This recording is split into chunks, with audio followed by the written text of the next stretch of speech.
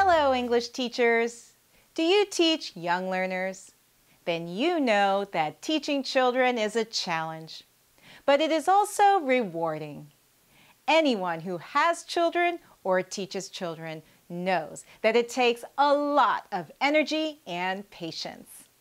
When I taught children, I was always sweating at the end of class. I was moving around while singing songs or playing games.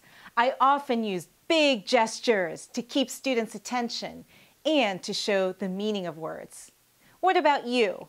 Do you have the same experience? Why does it take so much energy to teach children? Let's think about the characteristics of young learners. It's time for a brainstorm.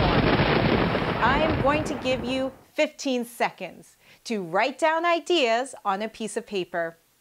Write down as many words as you can. Write down words that describe young learners. I'm going to write mine down in a word web.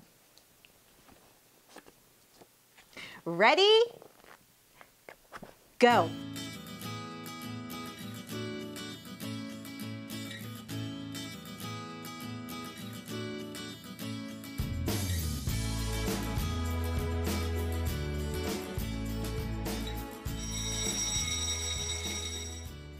Now, if you need more time, just pause the video.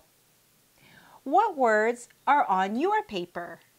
Here are some of the words I wrote down in my web. Active, energetic, spontaneous, can't sit still, and touches things. Young learners are what we call kinesthetic learners. They like to move and wiggle their bodies, you can't expect them to sit still in class all day. They also learn well through movement and gestures. They're tactile in their learning style. They love to touch and play with objects. So if you want to teach students what a ball is, give them a ball to bounce and throw.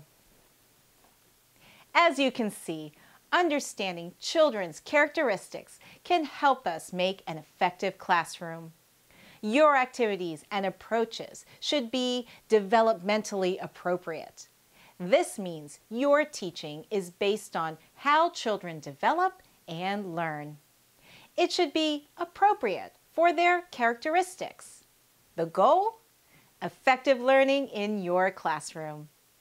For example, if my young learners are kinesthetic learners, then I should prepare activities that encourage them to get out of their seats and move around. I could play Simon Says. Let's try it. Stand up. Ready? Simon says, touch your head.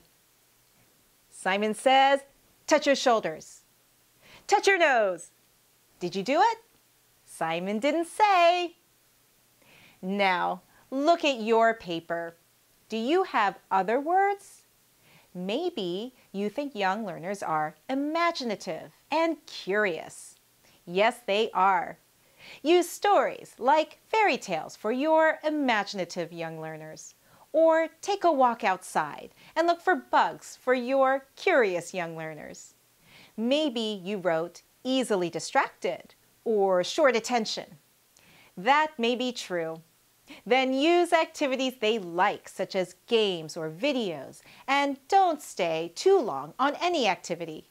Keep the pace of your class quick and exciting. Think about the characteristics of your young learners and always make your activities and approaches match those characteristics.